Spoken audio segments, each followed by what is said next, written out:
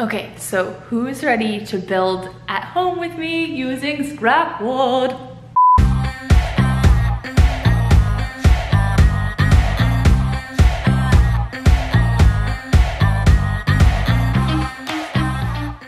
Welcome back to Never Skip Brunch. Today I'm showing you how to make these super cute quote mark bookends with some leftover plywood as well as teaching you how to make templates for cutting wood that remove totally cleanly, no sanding required. So this project is actually part of a collaboration that my friend Sam from DIY Huntress put together. I'm teaming up with a bunch of DIYers and makers, and we're showing you projects that you can make from home using scrap wood. I will link all the other videos below so you can check out all the other projects and hopefully find something that you can build at home as well. Okay, so I seem to have accumulated a ton of plywood. I've been using it for a lot of projects within the past year, like my pegboard wall and my giant headboard, so I have a lot of just little pieces laying around, and I wanted to challenge myself to turn those into a decor piece that's really chic and really polished and doesn't look like it was made from plywood.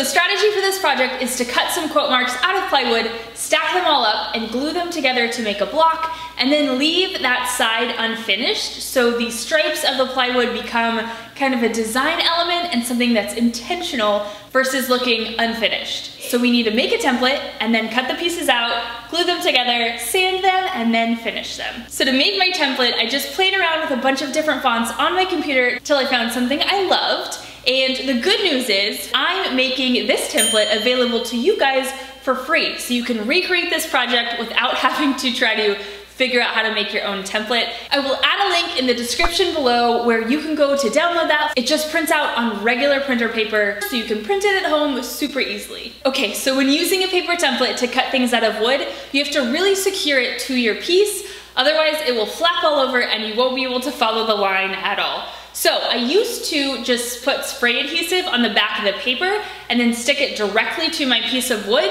And then after I finished cutting it, I would have to sand it all off, but I now use a way easier method that comes off super cleanly. So all you do is take a piece of contact paper and you're gonna just apply it straight onto your plywood piece, make sure it's stuck down, and then you can go ahead and spray adhesive the back of that paper and then stick it to the contact paper. This is basically a giant DIY sticker, and as you'll see here in a little bit, it peels off really easily totally clean. So I wanted to make sure my pieces were exact replicas of each other, so when I stack them all up and glue them together, I don't have a ton of reshaping to do. So ideally, I would have been able to cut all four pieces at once, but I'm using a scroll saw and it's not that tall, so I basically had to cut just two boards at a time. If you're using a different saw, like a jigsaw, you might be able to get it all in one go, but here's the method for doing it if you need to break it down. So I attached my template to one board and stacked that board up with another piece of plywood and then attached it using screws in those dead space areas that are gonna be scrap once I cut out my piece. And that allowed me to cut out two boards at once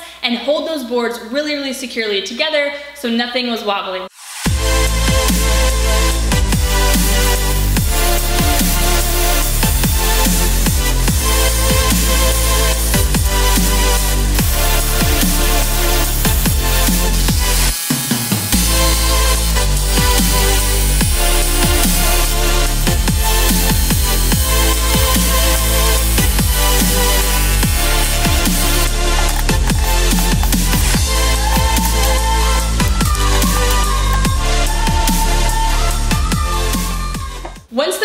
Pieces were cut out, I glued each of them to another piece of plywood using wood glue, added some clamps to secure it while it dried. Once those are finished drying, I used that as my new template to cut out another piece.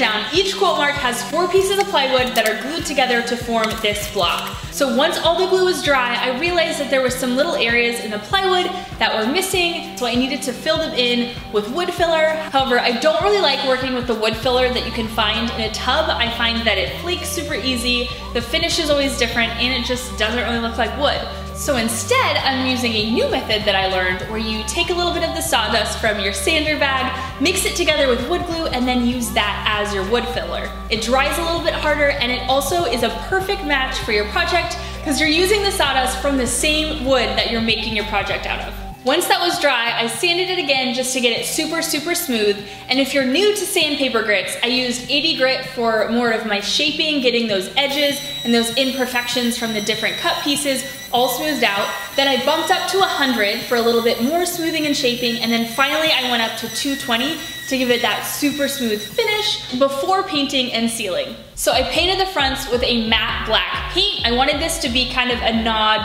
to ink and look like typeface. So I ended up using this chalkboard paint from Target, but it's really thick, so that allowed me to get a nice crisp edge without paint spilling over the edge or leaking everywhere because I wanted to keep those sides unfinished. Once the paint was dry, I sealed the edges with a matte polyurethane just to finish it off. And let me tell you, I really love how the sides turned out. It took that unfinished kind of inexpensive look of plywood and made it look very intentional and striped and patterned. And it also looks like the edge of a book, all the different pages. So that's just another really fun design detail that made these bookends special. Okay, are you ready to see how they look in the space?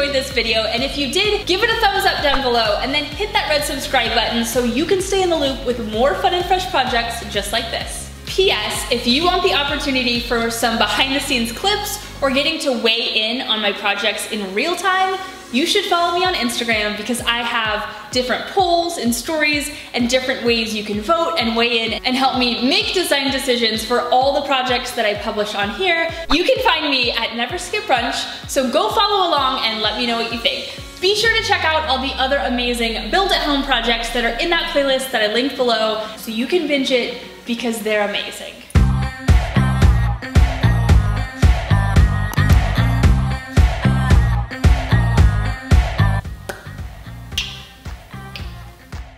A super cute. It's going to be super cute. He's really, really cute. So you can check out